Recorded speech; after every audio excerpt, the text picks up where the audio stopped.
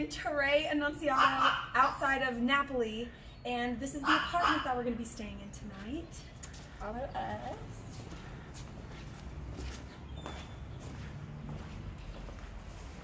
This is our relaxing area, is what the guy told us, the owner.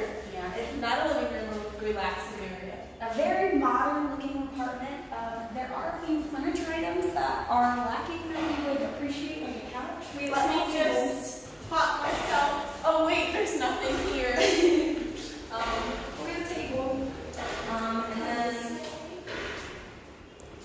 we have um, a little this is kitchen. our kitchen. And then our little There's table. No water.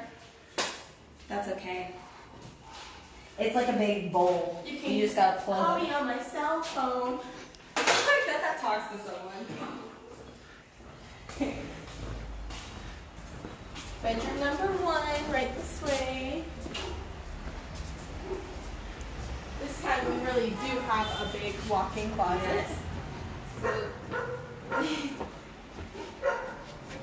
So this is the bedroom that my aunt and uncle will be staying in, and right out this window is the street that's kind of busy. For the annoying dog that's Yeah. Kind of nice though. So nice of towels.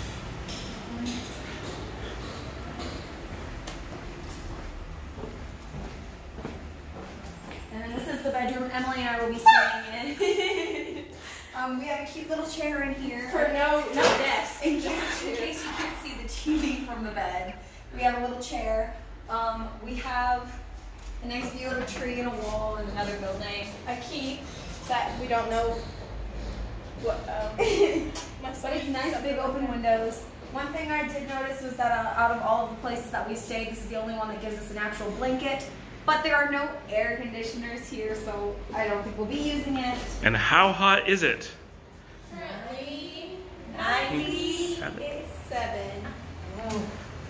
I didn't need to know that. Okay. And this is our bathroom. And we have also have a little party. Look at that. I don't know. You want to liven up your shower just a bit, play some music. You feel like you're at the club. Our front door. Goes right out to where uh, we park the cars. And then this is bathroom number two.